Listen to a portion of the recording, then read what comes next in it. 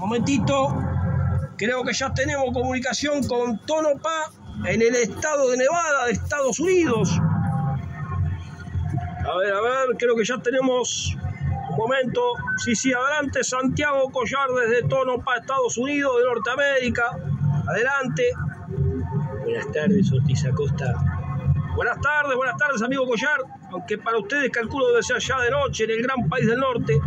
Señor Collar, yo lo voy a poner en contacto con un gaucho argentino, un criollo de ley que en estos momentos está cumpliendo un raíz una verdadera hazaña lomo de dos caballos argentinos y que habla con ustedes de la ciudad de Petrogrado, en Rusia.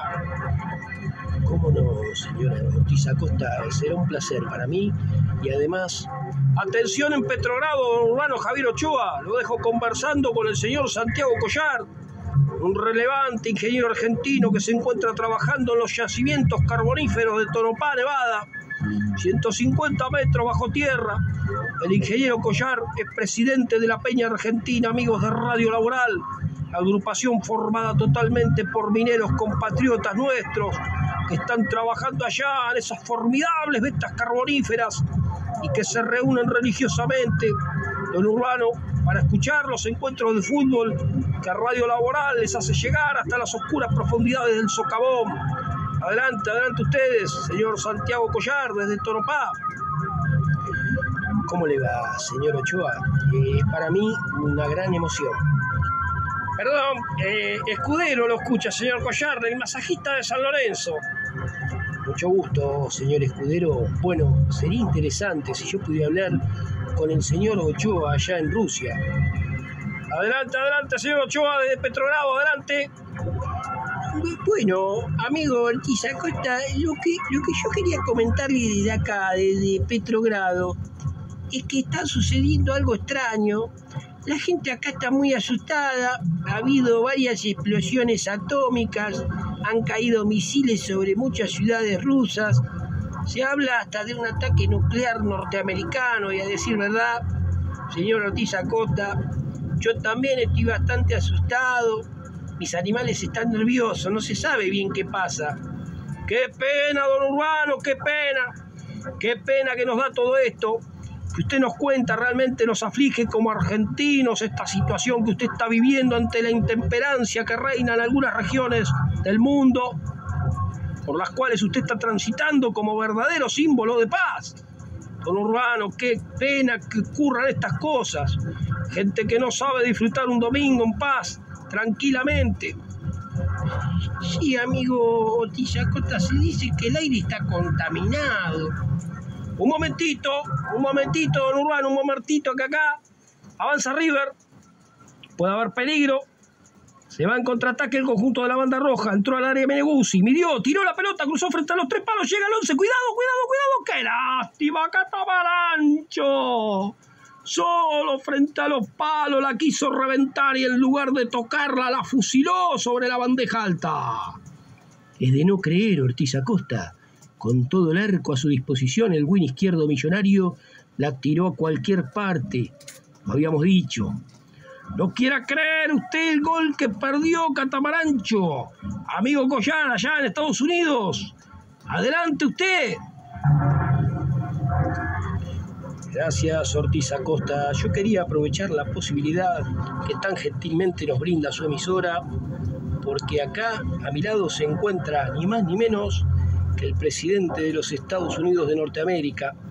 Acá está sucediendo algo terrible, señora Costa, algo realmente terrible. Ha habido un ataque nuclear soviético, muchas de las grandes ciudades están destruidas. El presidente de los Estados Unidos junto a algunos otros hombres de gobierno se ha refugiado acá, junto a nosotros, bajo tierra, y me piden dado que todos los otros medios de comunicación parecen estar inutilizados, si aprovechando la presencia de Don Urbano en Rusia, no se podría hablar con Moscú y resolver esto que parece haber sido un gran error. Por supuesto, no habrá problema, señor Collar. Dígale al presidente que espere un momentito. Enseguida estamos con él.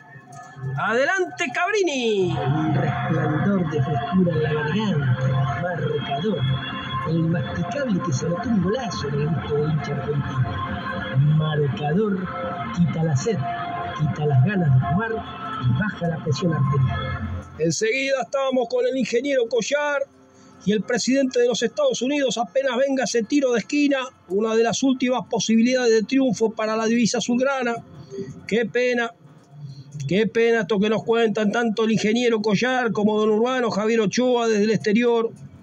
Cómo hubiésemos querido no tener que escuchar estas cosas, estas muestras de intemperancia. Tal vez así sepamos apreciar un poco más, señores, lo que estamos viviendo acá en Cancha de River una verdadera fiesta popular en un marco de corrección y tranquilidad que no siempre sabemos valorar en la medida que se merece. Señor Ortiz Acosta, señor Ortiz Acosta, Collar lo llama, por favor, señor Ortiz Acosta. Momentito, amigo Collar, momentito. Viene el corner, ya lo vamos a conectar con Rusia. Veremos la posibilidad de contactar a ambos presidentes. Sería realmente muy interesante eh, sí, muy, muy interesante que, puedan resolver estos problemas, que haya una charla entre ambas eh, instituciones. No sabemos si habrá tiempo porque acá sigue el partido a ritmo vertiginoso y la centrada rivalidad de este clásico de todos los tiempos es un tema excluyente de cualquier otro. Máxime cuando se trata de hechos tan desagradables como lo que nos han contado Va a venir el córner, atención. En todo caso, grabamos la emisión desde los Estados Unidos y la pasamos mañana en nuestra polémica de los lunes. A las 21, como siempre. Entra Marcilla. Ortiz Acosta, Ortiz Acosta. Sube también Julio Jorge Tolesco. Hay un micrófono de campo abierto. Es la última oportunidad quizás para San Lorenzo. Vamos, muchachos. Se está poniendo fea la tarde, ¿eh? El cielo ¿Qué pasa con el cielo? Se ha puesto de un extraño color verde. Es raro esto, señores. El cielo de un color verde. Un verde que nos hace acordar que tenemos un llamado desde cancha de ferro. Atención, ferro, cuando venga el córner estamos con ustedes. Viene el córner. Entra Tolesco. ¡Salta Cantamalancho!